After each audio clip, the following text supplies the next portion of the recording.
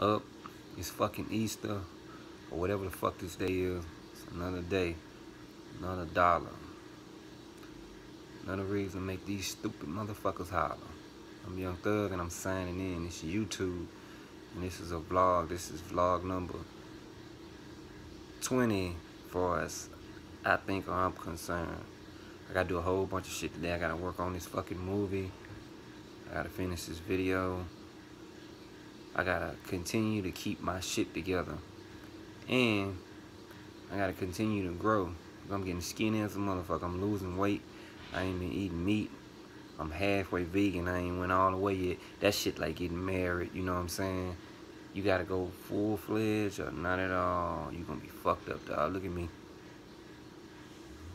Losing weight like a motherfucker, but it's working. I got a lot more energy. Taking that black seed oil all that good shit, all that healthy shit. Look at my eyes. I'm high. Smoke some good ass shit.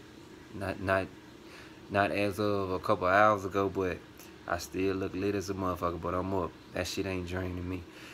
Follow me at the Real Young Thug, Twitter, motherfucking Instagram, Facebook, Deontay YT Rice. New shit coming, brand new shit. Fuck with my dog Q, Rich Guy Cartel.